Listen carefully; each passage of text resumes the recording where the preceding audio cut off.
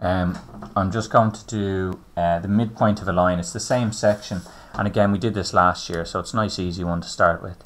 Uh, very simple. If you're asked to find the middle of a line, sometimes you'll be able to see it really clearly, um, but sometimes you'll need to use the formula. Okay, so the formula is here. Again, it's on page um, 18 in our maths tables. There it is. Okay, so you don't have to remember it, and all it means is you add the two x's together and divide by 2, add the two y's together, divide by 2, and that's all it is. Alright, so we always start off these questions again by labeling our things. So we've got two examples here, x1, y1, x2, y2, and I might as well do this while I'm here, x1, y1, x2, y2. And it's important to label them so you don't get confused yourself, don't make mistakes, I make mistakes. So, okay, so the formula for midpoint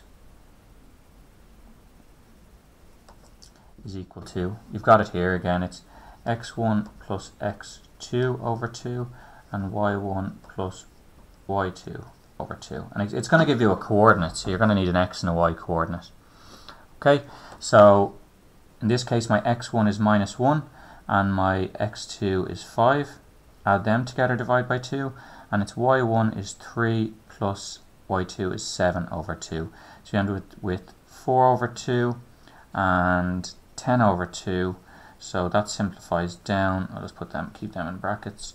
Uh, 2 5 so the midpoint of this line is 2 5 now I think most people would have been able to see that that the middle of minus 1 and 5 is 2 and the middle of 3 and 7 is 5 but again it's it's when you get to decimal places or negative numbers um, it's it's really advised to use the formula so again we're going to use the same formula so I'll write every question you should write it out.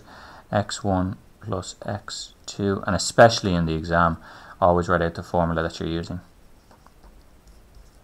Okay, same formula again just to give you a coordinate.